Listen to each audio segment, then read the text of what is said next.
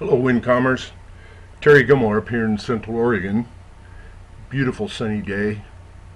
I want to talk about our sign-up form to uh, become a member or become a breeder of a particular race.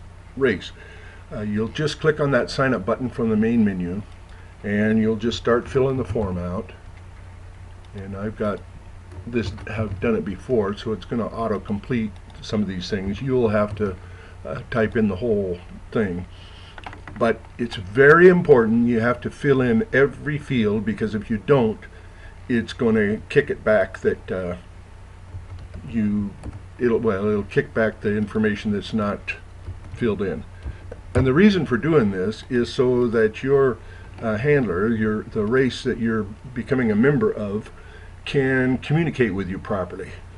Most important of all is the email address and of course a mailing address so they'll be able to to mail information to you and also to get email information to you.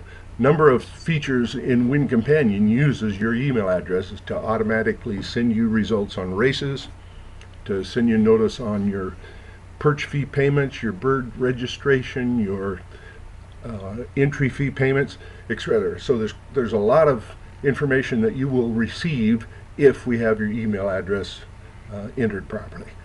So I'm going to become a member and it's going to take me down here to um, the breeder list. And I'll scroll down and and here I am. So here's here's my name. And so now I'm in the race and I've reserved one perch. So um, let's say you wanted to increase the number of perches that you had or you want to update your information we'd come back here to that same sign up form only this time we're going to log in as a breeder.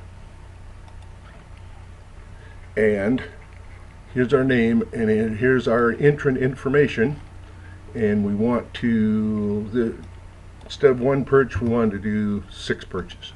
So we'll just hit the update button and there it is and now we've we've got six perches reserved.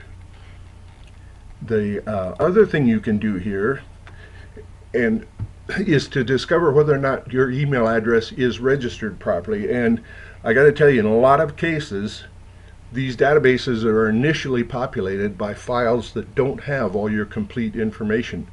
And if we had your email address, then you could get your username and password yourself just by coming here and and click on the um, on that uh, forgot password link and put in your name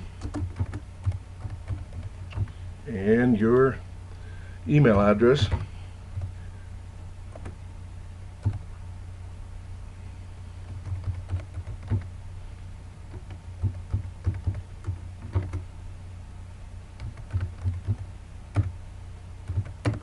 and hit submit.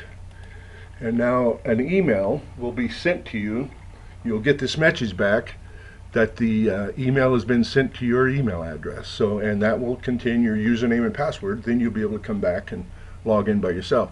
So let's let's go back to the sign up menu, and let's see. Uh, I want to show you what happens when we don't have your email on file.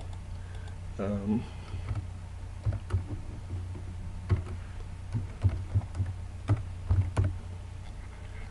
hit submit. And now you're going to get a an error message. It says your email is either spelled incorrect or doesn't exist. And you and in this particular case I know that one does not exist. But um, so once you got that message then you would know there was no way that you could communicate with this particular race on your own.